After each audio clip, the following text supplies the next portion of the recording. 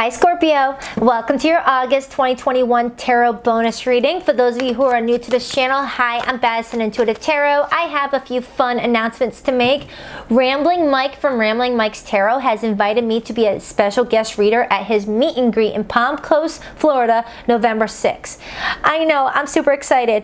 I hope to meet some of you. And I say some because there is a limit on tickets. Um, there's, a, there's a space capacity limit.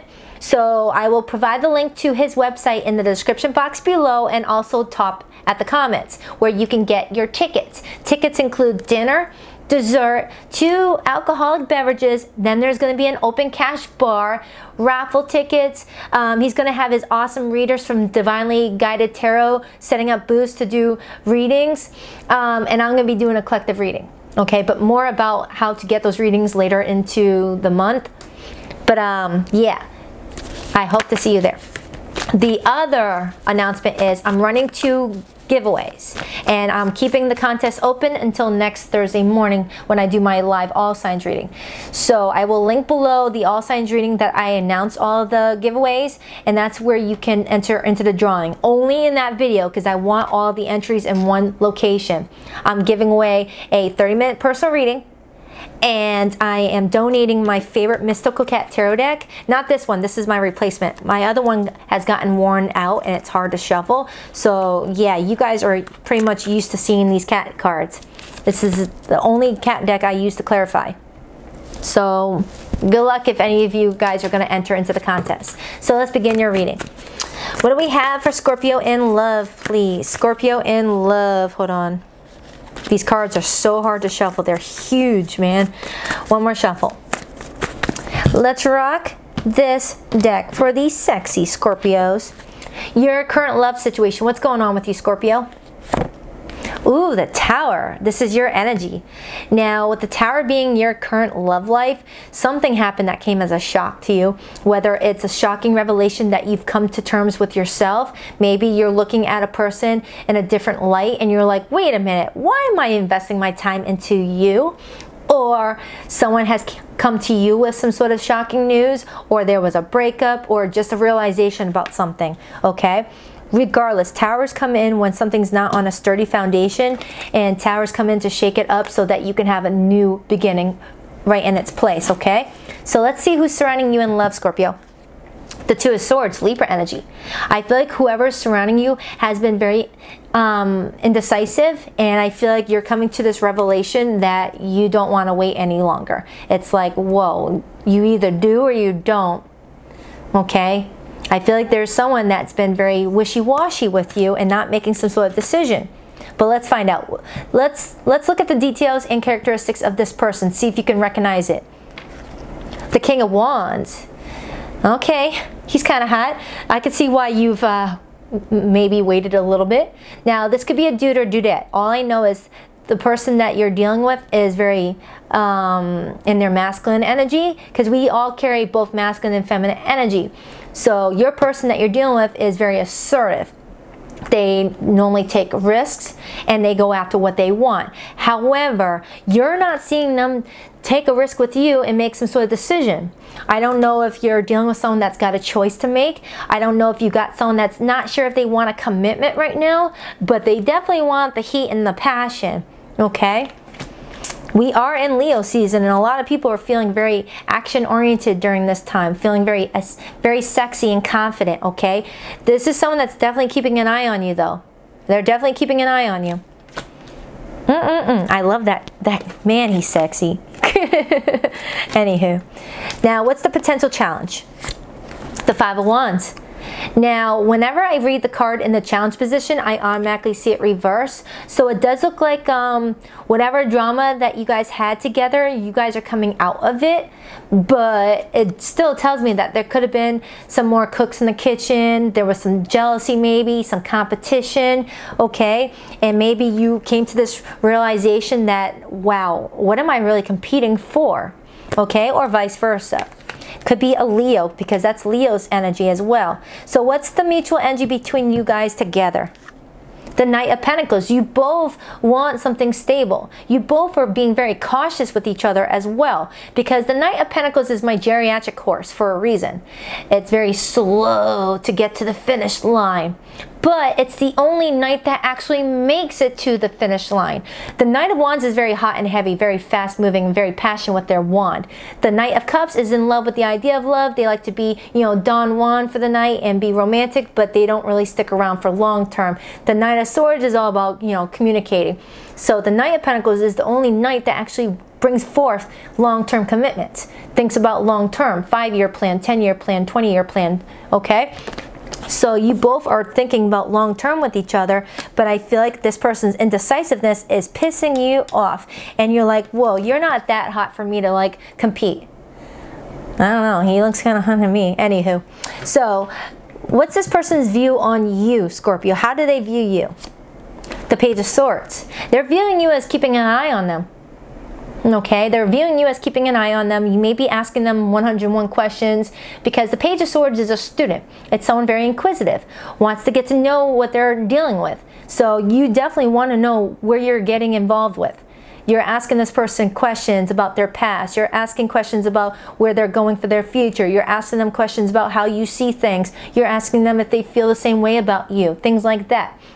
You see all those light bulbs right here though? I feel like currently you're getting some sort of epiphany, some sort of light bulb moment to the situation and you're like, whoa, you need to make a decision now before I am going to just move forward, okay? So how do you view them? The Empress. Taurus energy, but also Venus and Libra.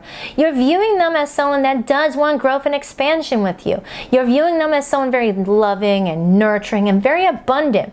So I feel like this is why you have been patient this far or this um, long because you, you see the softer side of them okay? You see the part where they're very assertive and you know dominant and very masculine but you also see that part of them that's very loving and and caring and checks in on you and sees how you're doing and you know is very thoughtful okay and if you're a dude watching this, maybe you're seeing this person, you know, worried about a pregnancy for some, okay? Or someone that's really focusing on their kids and getting them prepared for school, things like that. Okay, so what's their energy together moving forward, Spirit? What's their energy together moving forward? Seven of Wands, more Leo energy. Now, even though your current mutual energy is wanting long term but taking things slow, your energy moving forward is kind of like putting your guard up with each other. Okay, you both are getting worried about where this connection is going, so you're starting to let your defenses up. Okay, you're looking at peace, and your person's looking very calm and serene, but you're definitely both putting up some healthy boundaries. You don't want to get screwed over by either one of you. Okay, you both are like mirroring each other very strongly, might I add. So, what's your advice, Scorpio? Ace of Swords, get your truth. Don't be afraid to ask this person the truth okay? The Ace of Swords is all about enlightenment. It's all about clarity. It's all about opening up that throat chakra, speaking your truth to receive the truth. You get back what you give out. So if you want this person to tell you what they see with you, where they see this going, whether there's going to be growth and expansion and action being taken more than just, you know, fun passion, you've got to speak to them. Get that get that truth bomb out. Okay, this could be vice versa. You could be dealing with an air sign, Gemini, Libra, Aquarius. Let's get the overall energy and then I'm going to start clarifying, okay, you guys? The chariot. Cancer energy. You could live at a distance from this person and this could be why things have been so slow moving. And I also see a different race here, okay? But when I look at this card, I see two different color horses, okay, which is representative of duality. I feel like this is telling me that you're going this way, this person's going this way. It's like both horses that are leading the same, um, these horses are leading you both a certain path, but one keeps on going this way while the other person goes this way. You're, you're, you're not on the same page okay? You both are not on the same page but I feel like there's clarity coming in very very soon with the sun card Leo energy that's going to um, you know force someone to maybe make a decision.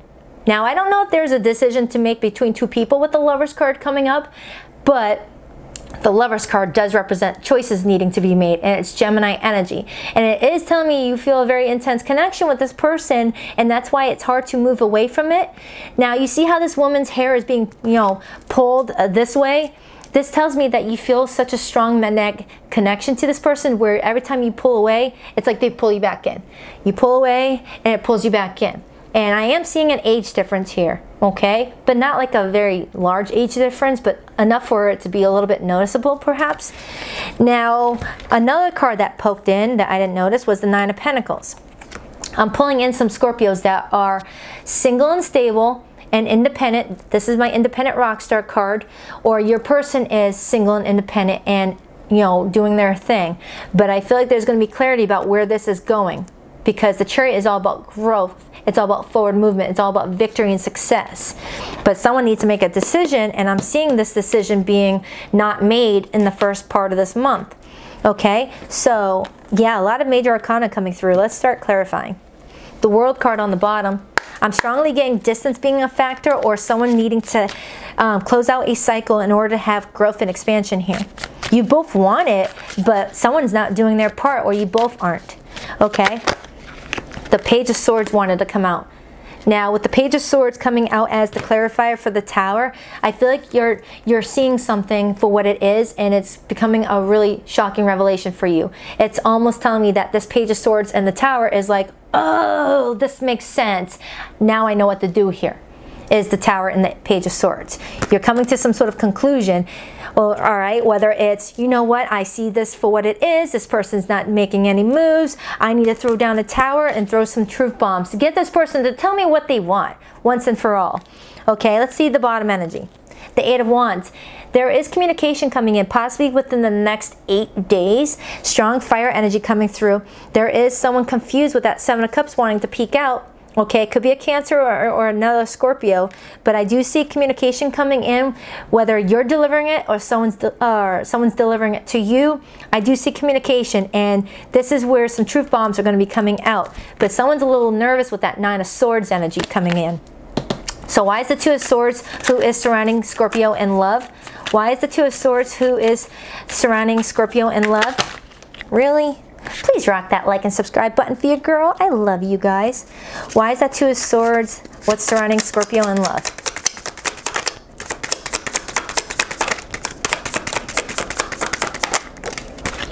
Okay, the Page of Pentacles in reverse and the Knight of Swords on the bottom. With the Page of Pentacles in reverse coming in with the clarifier for the Two of Swords tells me that someone's not making plans. Someone's not communicating what their plans are, leaving the other person in the dark. Because the Page of Pentacles in the upright is communication because pages are communicators, they're messengers. And Pentacles are all about making short-term plans, long-term plans, talking about stuff that makes sense, okay? And since it came out in reverse, it tells me someone's not making a decision about some sort of short-term plan or where this connection is going. They're holding in their offer. They're not giving it to the other person, leaving another person feeling like this is just going to be a wasted opportunity.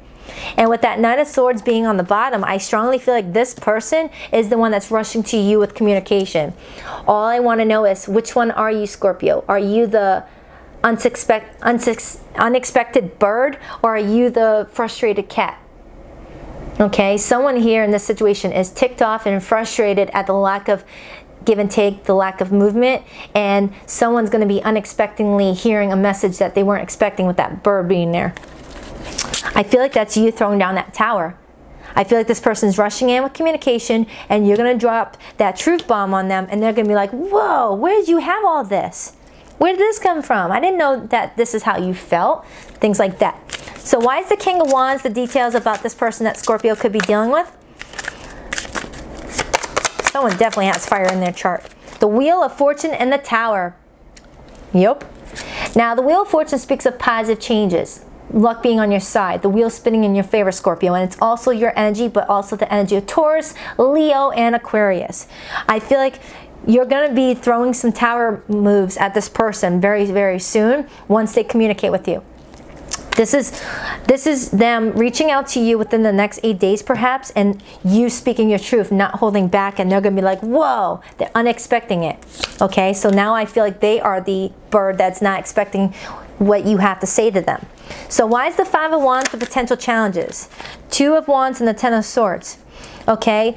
Reading the Ten of Swords in reverse may tell me that someone hasn't ended something. Someone's still making a decision and taking a step back from the situation to figure things out, but them being at a crossroads is leaving someone else stuck and stagnant. Okay, there's a lot of love here with the King of Cups. A lot of love being felt and a lot of love that you guys want to see grow, but you can't see growth and expansion if someone's not making a decision. So why is the Knight of Pentacles their mutual energy together, Spirit? Why is the Knight of Pentacles, Scorpio and this person's mutual energy together?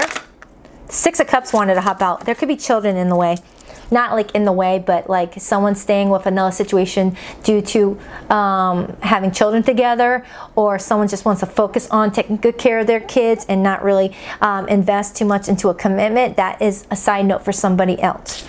Okay, the Hierophant.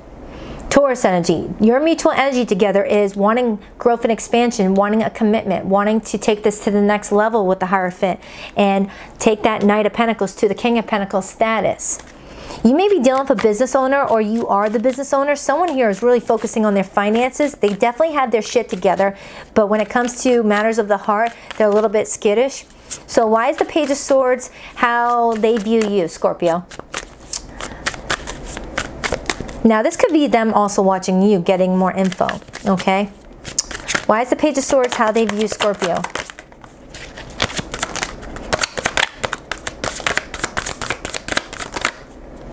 The Four of Pentacles and the Four of Swords. You've cut communication with this person. Or you're going to to get your um, to get your feelings heard.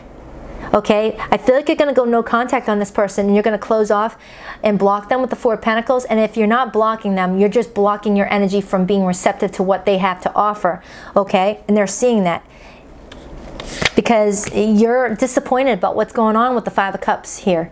Scorpio energy. You're disappointed. You feel hurt. You feel betrayed. You feel like this person, you know, got your heart involved and isn't making some sort of decision to bring stability to the connection. And you feel like you were taken advantage of. You feel like you gave your heart to this person because when a Scorpio has love for someone, a Scorpio has love for someone. You've got this intensity about you and you feel like someone's past may have interfered with the Six of Cups showing up or so, um, a situation with co-parenting, okay? So why is the Empress how you view them though? You still view them as being very stable and abundant and nurturing. Why is the Empress how Scorpio views this person? Ten of Wands and the Six of Pentacles. You see them carrying burdens okay? You see them being very um, abundant and very uh, beautiful and handsome, whatever the case may be with that Empress, but you see them taking on a lot of burdens. They may be taking on too much at work. They may be taking on other people's problems and not focusing on their own self, which is really odd for an Empress, but even an Empress can have a bad day.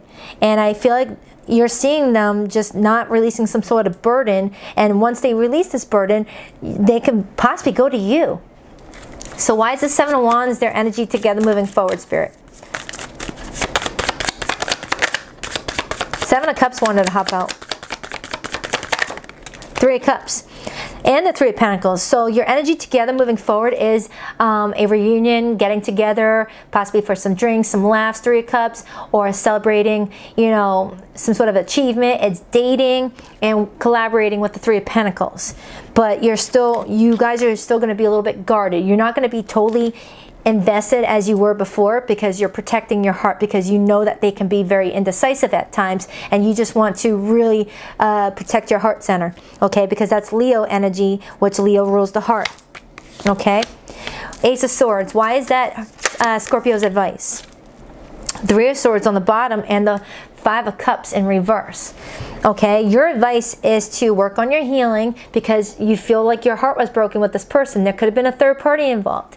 They want you to focus on your healing um, because of this heartache, but also speak your truth to this person and don't, and don't hold back. If there's something you want to say to this person, um, don't live with regret of not speaking your truth, okay?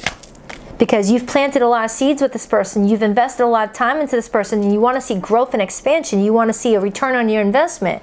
Okay? So, why is the chariot the overall energy with the, the sun? Some of you guys could have met this person in 2019 or there were plans being made in July of 2019. Okay? Or there's a reconciliation in September. Okay? Why is the chariot the overall energy? The lover, someone's making a decision. Someone's making a decision and speaking their truth with the Queen of Swords. Look at that. It started with the towers going down because someone wasn't making a decision, and then your advice being just speak your truth to get the truth in return. And because of that, the overall energy is forward movement and someone making a decision. So you, the only way of knowing what someone wants is to actually ask them, "What do you want?" And if they don't have the answer, then they are not worth your time. Okay? If they don't know what they want with you, then they're not to know.